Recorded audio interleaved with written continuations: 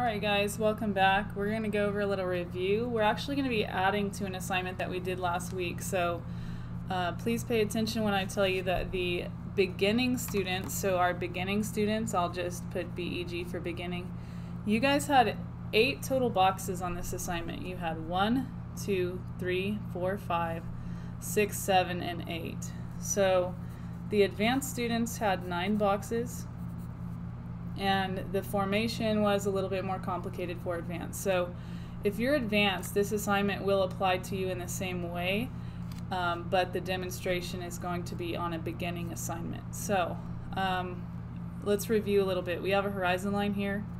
We have a vanishing point in the center. And all the diagonals from the shapes converge to the vanishing point. So a couple things I want to note here. If you got a bad grade on this assignment when, we, when you first turned it in, you need to repair or fix all of your mistakes before you turn it in because I will still take points off if we have parallels and diagonals that are not adjusted uh, per the recommendations on my corrections. So um, here on this example here, we have a rectangle, has three diagonal lines converging to the vanishing point, and then the lines that create depth are parallel to the front of the original shape. So I'm going to show this by dragging my ruler over and connecting it from one diagonal to the other. Okay, now this is a crucial piece of information for this course. All of you guys are expected to master this. It will continue to come up in assignments throughout the year, so it's really important that if you need help, you reach out. I apologize for my absence today. It was unexpected. Um, I will be able to give extra help again on Thursday. So if you need a little extra help uh, after 12:30 on Thursday, just shoot me an email and we can have an office hour link sent out so that you can join me for some reteaching. So this box here is on the line. It gets two diagonals that go to the vanishing point. We did them freehand. I'm using my ruler just to show, to reteach. And now we have to figure out the line that creates depth. Okay, so when we're talking about a shape, it typically has height, which is perpendicular to the horizon line. It has width, and then it has depth, which is an illusion that we're creating on a flat paper, just showing that it goes back into space.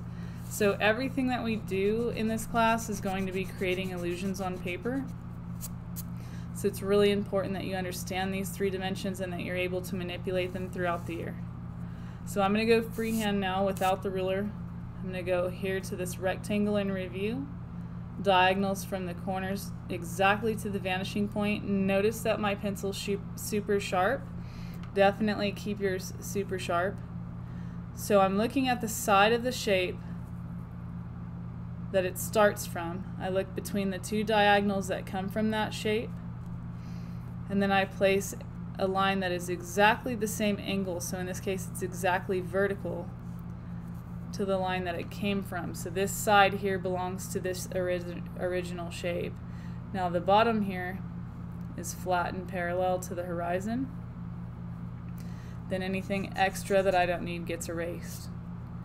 I put this one here on purpose so that you could see how it disappears behind this box. Okay, I can still see that you know something if you get one part of it right, but another part disappears behind something else. So, for example, this angle here is not exactly parallel, nor is it vertical to the horizon. This is called a diagonal.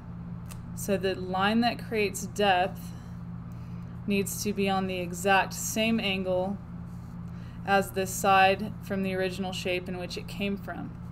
So if I were to go and draw the opposing line that's parallel to the other side, part of it would disappear behind this box, but you can see a small segment comes out. So what I'll do is I'll erase the pieces that go through that box so it looks like it's layered. And now we have an illusion of a third dimension on that particular shape, as well as an illusion that one form is layered on the other. This is a square. It's on the horizon line and it has two diagonals connecting to the vanishing point. because of its position in relation to the vanishing point. So it's right on the line, and in, th in those cases, most often there are only two diagonals. So we go back to the original shape, and again we're talking about shape, and enclosed line. This one creates a square. We're going to drop a vertical because we know that the original shape had a vertical that was exactly perpendicular to the horizon line.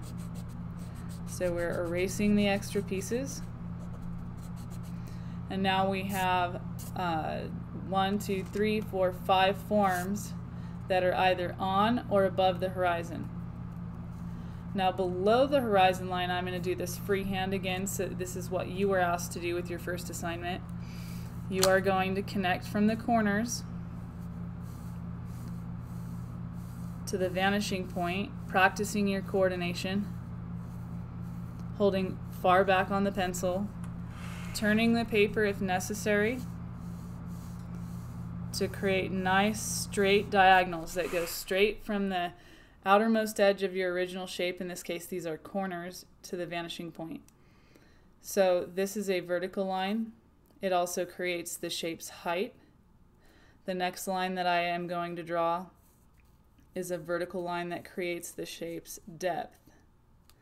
So I know that because this vertical line intersected this diagonal, that is the starting point for the horizontal line that creates the depth on the top. I'm going to erase all these extra pieces and I'm going to quickly move on to this shape. You'll notice that a lot of you are thinking, yes, I already did this, I already know this, that's good. In that case, you are exactly where you need to be. If you guys are still struggling with this a little bit, I would highly suggest at this point seeking extra help, either from me or for, from a peer. So a lot of you know this, but if you haven't created a free Zoom account to host your own study group meetings, I would suggest that, of course, with your parents' permission. But having study groups is pretty essential to making sure that you guys make it through this online learning situation so if you can find a way to collaborate even though you're not together, that would be advised. All right, so this is our eighth and final shape for this assignment. We have a vertical side to this three-dimensional rectangle. I'm going to make a vertical side of depth. Again, this line has to be the exact same angle as the side that it came from. The intersection point of the diagonal tells you where the last and final depth mark occurs. Then we go back and we erase any extra pieces. So here's where it gets a little tricky. So here is your assignment for this week. You guys are going to take your value knowledge. So we did have an assignment where you created a value scale and we are going to number these values out and apply them to our three-dimensional forms to learn about light. So light is the only reason that we can see anything. This particular representation of light is called a value scale. It shows the difference between light and dark. Beginners are expected to have 8 levels of value and advanced as many as 16. For this assignment advanced, you guys have nine boxes and I want to see a minimum of nine values being used. The way that you do this, for those of you that are new to drawing, is you imagine a light source. So to keep it consistent so that I can evaluate it, what I would like you to do is use your vanishing point as your imaginary light source. So we are not going to draw anything here. We're not going to draw a sun. We're just going to imagine that the light is coming right from the center and shining on all these objects. So we're thinking about the light shining on all of these boxes. So this one is the closest to the vanishing point. So this one's going to have some really bright light on it. What I would suggest is numbering them. So I'm looking at my value scale saying, okay, this side of this form is going to get the lightest possible value because it's the closest and I'm going to keep this entire side represented as the lightest value on my page. This side of the box is still close to that light source and it needs a value and that value needs to be light so I'm going to assign the number 2 value to this entire side. We are not blending values on the side of these forms. When you assign a value, for example, I assign 2 to this side, this entire side gets nothing but value 2. I don't want any value 3 or 4 or anything else on that side. It needs to be solid in value 2. You can notice that since I've been working here, I'm getting a bit of smudging on my reference scale. it's a good idea that if that be happening to you, especially while you're doing this assignment, you use another piece of paper to block. All right, so thinking about the light source being here, if this side is all 1, this side is all 2, this side here, maybe 3 or 4, you're the artist, you get to choose. I'm going to choose 3 because this box is so close to the light source. So referencing your value scale, you're going to pick a value and you're going to assign that exact value without showing any marks, no lines. We're using the edge of our graphite to fill in those sides of those boxes completely. Okay, so we're going to go slow and we're going to do it as perfect as possible. Okay, so I want you guys to really, really think this through. Okay, if a box is further away from the light source, it doesn't mean that it has no light. It just means that it has less light than the one that's closest to it. So as you're moving around your page and you're making decisions, you need to keep in mind that you only have eight values as a beginner, unless of course as a beginner you want to reach a little further and you want to apply 16, that's okay. It's just not okay to do less. So your collection of forms needs to represent all eight values and all eight of them needs to be carefully done. And the only lines that I want to see on this paper are the ones that created the verticals, horizontals, and diagonals on your boxes. Okay, ideally, those will also disappear if your shading is really excellent. So as you are moving around, you can see that I'm applying a value 3 to this side. When I get it nice and even, I've already determined that this bottom side is going to be solid and it's going to be my ones, one scale. So I'm not going to put anything there because my one has nothing, but I am going to apply the two. So as an artist, if you should find that your edge has disappeared, so for me that's this edge, this little line here is really not really a step up from two. I'm going to have to lift three a little bit and raise it so that I didn't lose the corner of my form. Okay, so I'm not going to outline it since I've raised this value. I have to raise that entire side. So no blending. We're going to raise that entire side all the way up to where it makes sense in relation to number two. So notice that I am holding pretty far back on my pencil. I'm not holding up close because I'm not doing any detail work yet. And I'm not afraid to use my eraser to clean up something that doesn't look of good craftsmanship. So it's really important that you learn in this class that if you throw something at me and it looks like you could have cleaned it or you could have done something extra but you just didn't, then your grade is going to be marked down because craftsmanship is really important. So what I am looking for in this assignment is that number one, all the diagonals are correct, all the parallels are correct, and then finally all of the values are relatively correct in relation to the light source which is coming from your vanishing point. So I'm going to talk you through the rest of it because if I had you walk or uh, if I had you watch me shade every single one of them, it would be a really, really long video. So this one here, I would say starting with a 4 on this side and going to perhaps a 6 on this side would make sense.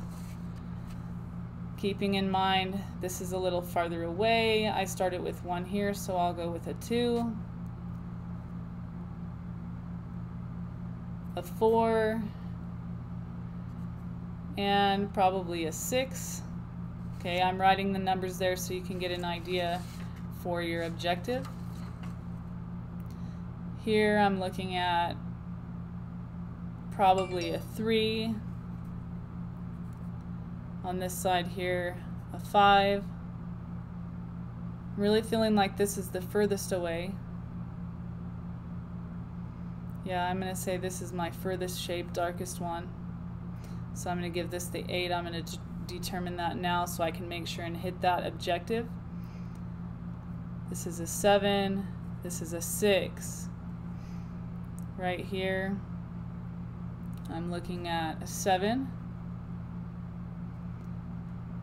This one, a 4. This one, a 4, 6.